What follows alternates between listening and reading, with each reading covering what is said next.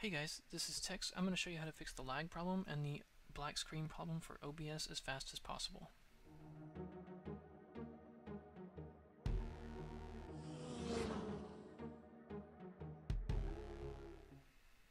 Okay, so, and this has just worked for me. I searched the forums, I, I tried all the YouTube settings and this and that. I tried everything, but this is what worked for me.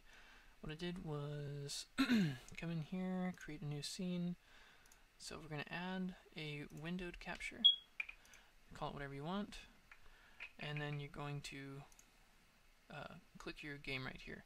And now a problem I ran into was that I couldn't find my game right there. So what I had to do was start the game that I wanted to play, that I had all the problems with. Uh, and by the way, I have a pretty decent computer. It um, and I was having like lag issues and like just messing with the settings, trying to figure out what was going on. And this is what worked for me. Um, so anyways, you're going to start your game up.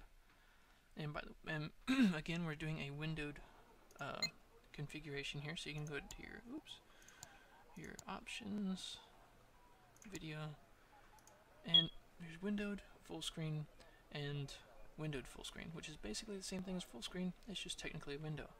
So no loss on the irritating actual window. So anyways, put it on windowed.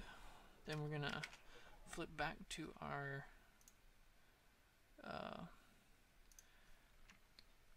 our OBS. Come over here. So we'll reset that. Come back into here. And bam, there's your game. Okay, so anyways, then you click your game. And what's going to happen is when you first start your recording, it's going to be a black screen. and then uh, once you start your game up and you open that window, then you'll get your your game will come up. The graphics run awesome. I can run it on HD. Like, uh, I haven't really tried any further, but I put 5,000. Uh, oh, what is it called here? I'll show you. Let's see. I get it on 5,000 video bitrate. My video's at 1080. Um, and I could probably go up from there because I mean it just runs flawlessly with all this stuff and it looks great too so um, if you liked this video, please give me a thumbs up. Let me know what you're thinking in the comments.